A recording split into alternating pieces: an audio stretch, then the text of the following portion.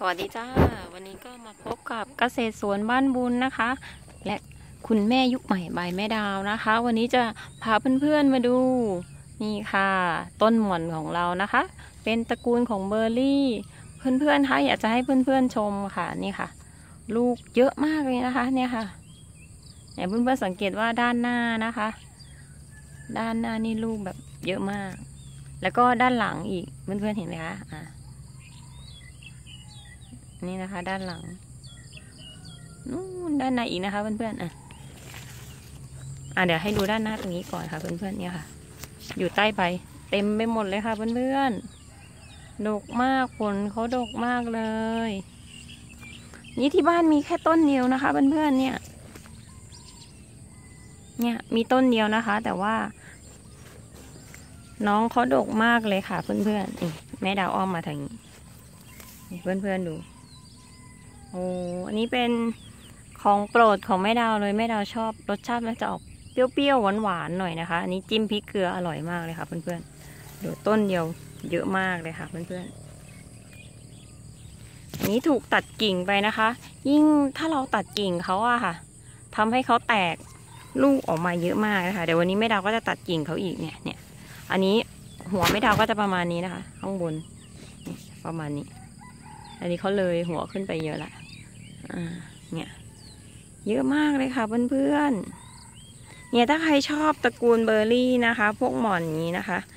นี่ก็หาง่ายนะคะ หากินง่าย ก็คือส่วนมากร้านทั่วไปนะคะ เขาก็จะมีขาย ต้นไม่กี่บาทสี่สิบบาทสี่สิบบาทถึงหกสิบบาทประมาณนี้ค่ะ นี่นะคะ เพื่อนๆ อันนี้ฉ่ำๆเลย เนี่ยเดี๋ยวแม่ดาวชิมโอ้ย อันนี้ไม่ต้องจิ้มน้ำจิ้มเลยค่ะเพื่อนๆเดี๋ยวแม่ดาวชิมดูก่อนอือหือนะคะเนี่ยลูกด้านในนะคะเพื่อนๆนี่ยสดๆจากต้นเลยค่ะเพื่อนๆ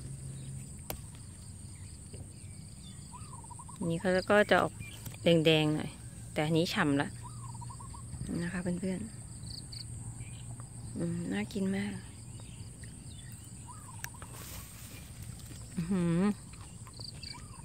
มันลูกสีแดงนะคะ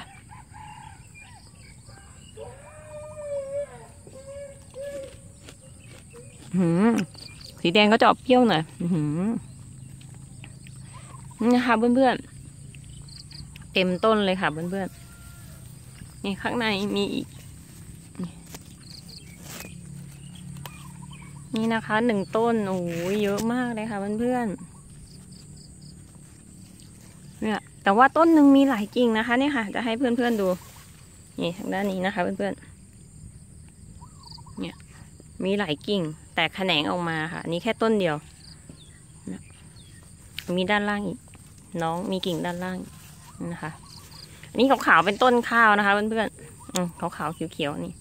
เป็นต้นข้าว มากับฟางค่ะ เขาเกิดก็เลยปล่อย นี่นะคะนะคะ รอบๆ เต็มไปหมดเลยค่ะเพื่อนๆเยอะมากเลยค่ะ ถ้าใครชอบอต้นหม่อนนะคะ แนะนำเลยค่ะ ปลูกเลยค่ะ นี่ฝนตกนะคะ น้ำแฉะเห็นไหมคะเพื่อนๆมีน้ำน้ำแฉะธรรมชาติสุดๆนะคะ เพื่อนๆเนี่ยหืม ฉ่ำมากแม่ดาวชอบ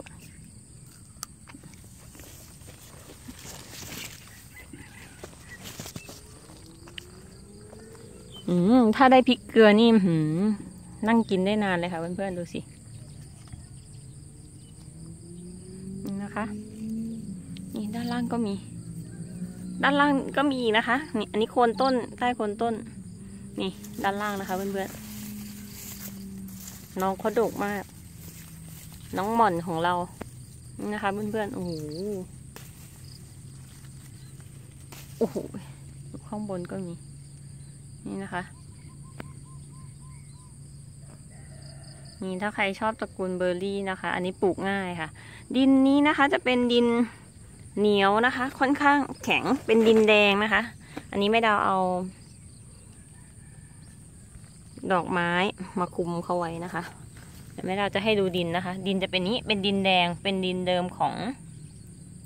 ของบ้านนะคะ ที่เขาถม ที่เขาถมไว้ขาย จะเป็นดินแดง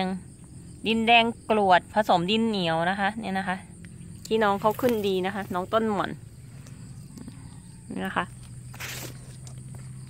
อืมนี่นะคะเพื่อนๆดูสิ ช่ำๆเลยสดจากต้นเลยค่ะเพื่อนๆ ดูสิวันนี้ไม่ดาวพามาชมหม่อนกัน ฝนตกสองอาทิตย์แล้วนะคะเพื่อนๆ ชุ่มฉ่ำชุ่มฉ่ำกันไปเลยนะคะยอดอ่อนๆ ยอดอ่อนๆเขาก็ไปทำกับข้าวได้นะคะเพื่อนๆ เอาไปต้ม เอาไปต้มแซ่บ ต้มแซบต้มยำนะคะเพื่อนๆอืมหรือจะเอาไปแกงก็ได้นะคะเพื่อนๆดูสิยอดอ่อนๆทั้งนั้นเลยอะเพื่อนๆดูสิวันนี้แม่ดาวพาเพื่อนๆมาดู เนี่ยหมดเดี๋ยแม่ดาวจะเก็บ เยอะมากดูสิข้างในนู่นเอามองทะลุไป ข้างในเยอะมากเลย นี่เดี๋ยวแม่ดาวเก็บด้านหน้าก่อน เยอะมาก ฉ่ำมากนี่ติดใบเลย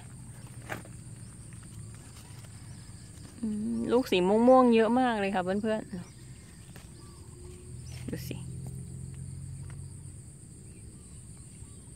ช่ำๆกันเลยจ้า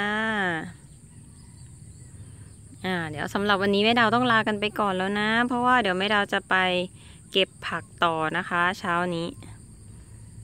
ผักตำลึง ผักกระถิน แตงกวานะคะ แล้วก็ชะอมจะไปเก็บใส่ตู้เย็นไว้เนาะเอาไว้ทำกับข้าวเมื่อเช้านี้ก็ทำกับข้าวเสร็จเรียบร้อยละไหว้พระเสร็จเรียบร้อยแล้วนะคะแม่ดาวก็เลยออกมาเก็บผักนะคะโอเค ยังไงฝากช่วยเพื่อนๆช่วยกดติดตาม กด subscribe กดไลค์กดแชร์ให้กับแม่ดาวด้วยนะคะ ในช่องของ YouTube นะคะ เกษตรสวนบ้านบุญ กับคุณแม่ยุคใหม่บายแม่ดาวนะคะ แล้วก็เเพจของแม่ดาวนะคะ จะเป็นหนูน้อยเกษตรพอเพียงนะคะ หนูน้อยเกษตรพอเพียงเกษตรสวนบ้านบุญนะคะสำหรับคลิปนี้ต้องลากันไปก่อนแล้วนะคะ สวัสดีจ้า